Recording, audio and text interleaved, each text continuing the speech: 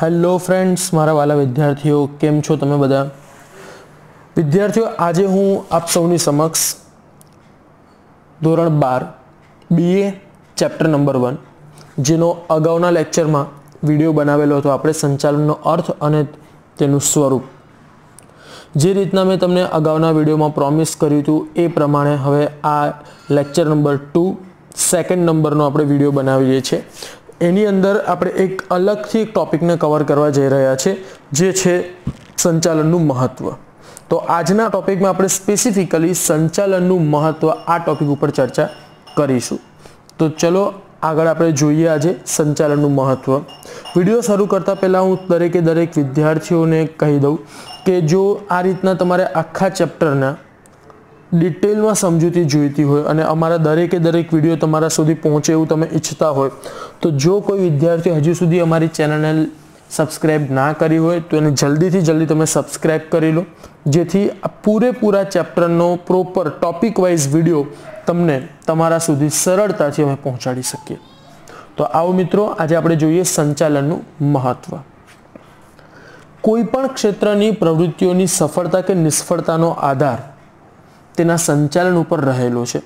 સાધનો ગમે તેટલા આધુનિક અને પૂરતા પ્રમાણમાં હોય, પરંતુ જો સંચાલન ક્ષતિપૂર્ણ હોય, તો તે સાધનોનો ઉપયોગ થઈ શકતો નથી.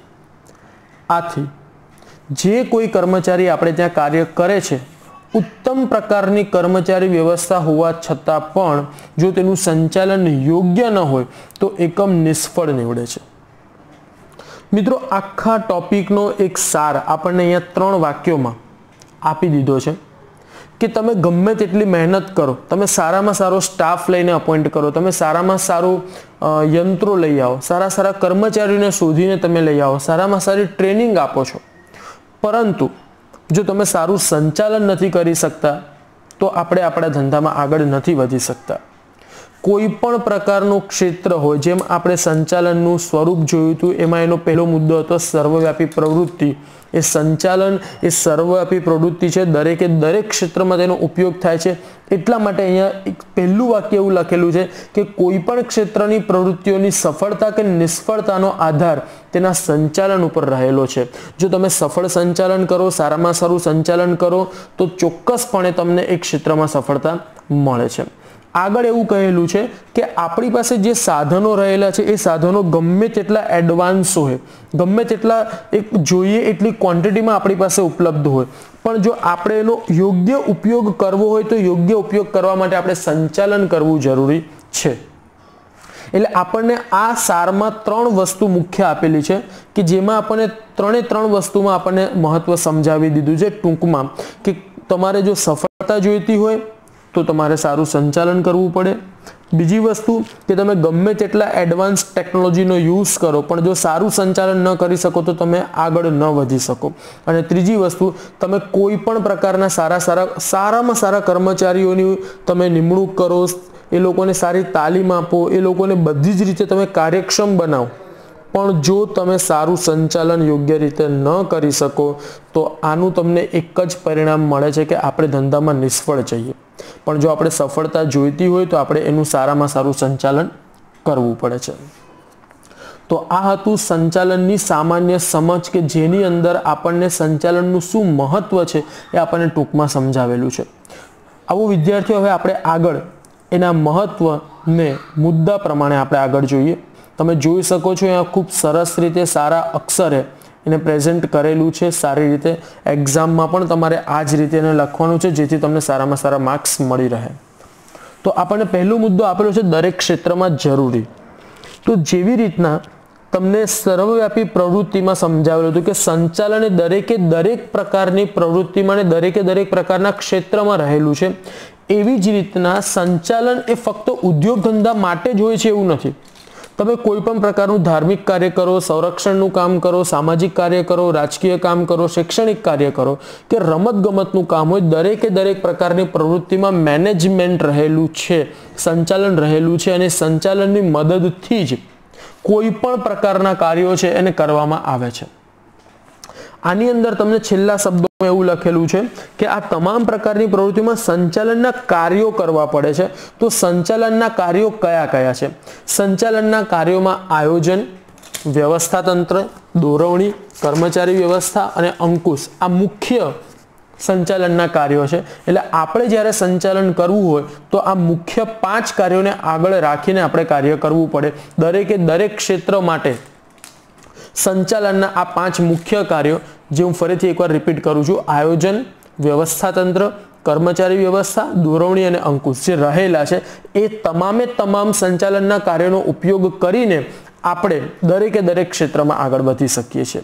તો કોઈ પણ ક્ષેત્રમાં આગળ વધવા માટે તમારે સારામાં સારું મેનેજમેન્ટ સારામાં સારું સંચાલન કરવું જરૂરી છે. એના પછીનો આપણને બીજો મુદ્દો આપેલો છે, સાધનોનો ઇષ્ટતમ ઉપયોગ. એટલે તમે તમારી પાસે જે કોઈ સ્ત્રોત, જે કોઈ સાધનો રહેલા છે, એ સાધનોનો સારામાં સારો અને વધુમાં વધુ ઉપયોગ કરો. શું લખેલું છે આપણે જોઈએ. સંચાલનને લીધે જ એકમના ઉપલબ્ધ સાધનો જેવા કે જમીન, મૂડી કાચો માલ કર્મચારીઓ અને યંત્રો. અને આગળ પણ જો આપણે કહેવું હોય તો જે આપણા ઉત્પાદનના સાધનો છે, જમીન, મૂડી, શ્રમ અને નિયોજક, આપણે એનો પણ વ્યવસ્થિત અને સારામાં સારી રીતે ઉપયોગ કરીને સારામાં સારું સંચાલન કરી શકીએ છીએ અને એની સાથે સાથે વધારાના કોઈ સાધનોનો ખોટી રીતે થતો બગાડ આપણે અટકાવી શકીએ છીએ. અને એનાથી આપણે દરેકે દરેક સાધનોનો સારામાં સારો, વધુમાં વધુ અને વ્યવસ્થિત કાર્યક્ષમ ઉપયોગ કરીને આપણે એનો લાભ લઈ શકીએ છીએ. પણ એ ક્યારે શક્ય છે? જ્યારે તમે સારું સંચાલન કરો ત્યારે. એના પછી આપણને ત્રીજા નંબરનો મુદ્દો આપેલો છે ધ્યેય સિદ્ધિ. સંચાલનને લીધે જ સાધનોનો ઇષ્ટતમ ઉપયોગ શક્ય બને છે. તેથી એકમના ધ્યેયને સિદ્ધ કરી શકાય છે. હવે વિદ્યાર્થીઓ, એક સરળ શબ્દો છે, એક સરળ વાક્યો છે, સરળ સમજૂતી છે કે તમારે કોઈ પણ પ્રકારનું ધ્યેય હાંસલ કરવું હોય તો એના માટે તમારે પ્રોપર મેનેજમેન્ટ કરવું પડે. જેવી રીતના તમને ઉદાહરણ દ્વારા સમજાવું કે તમે અત્યારે ધોરણ બારમાં અભ્યાસ કરી રહ્યા છો અને તમારે જો બોર્ડમાં સારા ગુણોથી પાસ થવું હોય તો તમારે તમારા સ્ટડીને પ્રોપર મેનેજ કરવું પડે. કે ભાઈ એક ટાઈમ મેનેજમેન્ટ બનાવો, એક વીકલી મેનેજમેન્ટ બનાવો, એક મંથલી મેનેજમેન્ટ બનાવો કે તમારે કયા વિષયોને કયા દિવસોમાં કેટલા કલાકમાં તમારે તૈયાર કરવાના છે. તમારો ધ્યેય એ છે કે બોર્ડમાં મારે સારા ગુણોથી ઉત્તીર્ણ થવું છે, મારે પાસ થવું છે. તો એના માટે એ તમારો ધ્યેય છે, એ ધ્યેયને સિદ્ધ કરવા માટે તમારે સારામાં સારું ટાઈમ મેનેજમેન્ટ કરવું પડે. તમારે ચોક્કસ સમયમાં તમારું પેપર લખવું પડે, પૂરું કરવું પડે ને બધું કરવા માટે તમારે એને એક ચોક્કસ ટાઈમ મેનેજમેન્ટ પ્રમાણે ફોલો કરવું પડે, જેથી તમારો નક્કી કરેલો ધ્યેય સિદ્ધ બને. તો એ જ રીતના જો તમારે તમારા ધંધાકીય એકમનો ધ્યેય સિદ્ધ કરવો છે, તો આપણી પાસે જે કોઈ ઉપલબ્ધ સાધનો છે, એ ઉપલબ્ધ સાધનોનો સરળતાથી અને સારામાં સારી રીતે કાર્યક્ષમ રીતે ઉપયોગ કરીને તમે તમારા ધ્યેયને સરળતાથી સિદ્ધ કરી શકો છો અને એના માટે તમારે સંચાલન કરવું જરૂરી છે. એના પછીનો મુદ્દો આપણને આપેલો છે ધંધાની સફળતા માટે ઉપયોગી. ધંધાકીય એકમની સફળતામાં અન્ય પરિબળોની સરખામણીમાં સંચાલનનો ફાળો વિશેષ છે. હવે આપણે એવું નથી કહી શકતા કે દરેકે દરેક પ્રકારના એકમમાં તમારે સફળતા જોઈતી હોય તો સંચાલન જ જોઈએ. સંચાલન તો જોઈશે જ મિત્રો, પણ એની સાથે બીજા ઘણા બધા સાધનો પણ છે. પણ એની સાથે સાથે જેટલું પ્રમાણ, જેટલું કોન્ટ્રીબ્યુશન સંચાલનનું છે તમારી સફળતામાં એ બધાની સરખામણીમાં સૌથી વધારે છે. જેવી રીતના આગળ અહીંયા લખેલું છે કે નાના પાયાના ઔદ્યોગિક એકમો, જો મોટા ઔદ્યોગિક એકમો સ્વરૂપ ધારણ કરી શકતા હોય, તો તેનો બધો જ શ્રેય સંચાલનને ફાળે જાય છે. એકસો ને દસ ટકા આપણને આ સરળ અને સાચી વાત કહી છે કે જો તમે સારામાં સારું મેનેજમેન્ટ કરો, તો આજથી ઘણા વર્ષો પાછળ તમે તમારો જે બિઝનેસ સારો કર્યો હશે બિઝનેસ શરૂ કર્યું હશે, એને તમે સફળ સંચાલન દ્વારા તમે એક મોટું સ્વરૂપ આપી શકો છો. જે તમારો બિઝનેસ નાના એક પાયા ઉપર તમે શરૂ કર્યો, તો આજે તમે સફળ સંચાલન દ્વારા તમે એને એક મોટું સ્વરૂપ આપી શકો છો. અને ફક્ત અને ફક્ત એ સફળ સંચાલનને જ આધારિત છે. કાર્યદક્ષ સંચાલનને કારણે જ ખોટ કરતા એકમો નફો કમાતા થઈ શકે છે. મિત્રો, તમે સારામાં સારું સંચાલન કરો તો ભૂતકાળમાં જે તમને અનુભવ થયો હશે, તમે કોઈ પણ એવા નિર્ણયથી કે કોઈ પણ એવા ખોટા સંચાલનથી, કોઈ ગેરમાર્ગે દોરાઈને જો તમે તમારા ધંધાને ખોટમાં જ ગયા હો, ખોટમાં તમે ધંધો કર્યો હોય, તો તમે સારામાં સારો નિર્ણય અને સારામાં સારું સંચાલન કરીને તમે એક કાર્યક્ષમ એકમ જે અગાઉ બિનકાર્યક્ષમ હતું. એને તમે કાર્યક્ષમ એકમ તરફ લઈ જશો, એને તમે નિષ્ફળતાથી સફળતાના રાહ ઉપર લઈ આવશો. તો જે પ્રમાણે તમારે નાના પાયામાંથી મોટા પાયા ઉપર જો તમારો ધંધો વિકસિત કરવો હોય, એને એને આગળ લઈ જવું હોય, તો એના માટે તમારે સંચાલનને જ ફોલો કરવું પડશે. એના પછી આપણે પાંચ નંબરનો મુદ્દો આપેલો છે, રોજગારીની તકોમાં વધારો. જો સંચાલન કાર્યદક્ષ હોય તો કંપની સ્વરૂપનો વિકાસ થાય છે, જેથી રોજગારની તકો વધે છે. મિત્રો, તમે જ્યારે ધંધાની શરૂઆત કરો છો, ત્યારે તેની શરૂઆત તમે નાના પાયે કરો છો. પણ જો તમે એને સફળ સંચાલન કરીને આગળ લઈ જાઓ અને સારામાં સારું સંચાલન કરવાથી તમારો નાના પાયે શરૂ થયેલો ધંધો એ આગળ જતાં એક મોટા પાયાનું સ્વરૂપ ધારણ કરે છે, એક મોટા પાયા ઉપર તમારો ધંધો શરૂ થાય. ત્યારે એની સાથે સાથે તમે સમાજમાં લોકોને રોજગારી આપી શકો છો. જ્યારે બિનકાર્યક્ષમ સંચાલનને લીધે ઘણી કંપનીઓ બંધ પડે છે, જેથી બેરોજગારીના પ્રમાણમાં વધારો થાય છે. તો એનો સીધો સીધો અર્થ આપણને એક એક સરળ તફાવત આપેલો છે કે જો તમે સફળ સંચાલન કરશો, તો નાના પાયાથી મોટા પાયા ઉપર જઈ શકશો અને તમે સમાજમાં રહેલી બેરોજગારીને દૂર કરવામાં ફાળો આપી શકો છો. પણ જો તમે સફળ સંચાલન નથી કરતા, તો કદાચ તમે ભલે મોટા પાયા ઉપર બિઝનેસ કરતા હોય, તો એને નાના પાયાના કે મધ્યમ પાયાના બિઝનેસમાં આવતા વાર નહીં લાગે અને એ તમે સમાજ માટે કંઈક ખોટું કરી રહ્યા છો. એનો મતલબ એવો થયો કે તમે બેરોજગારીનું પ્રમાણ સમાજમાં વધારી રહ્યા છો.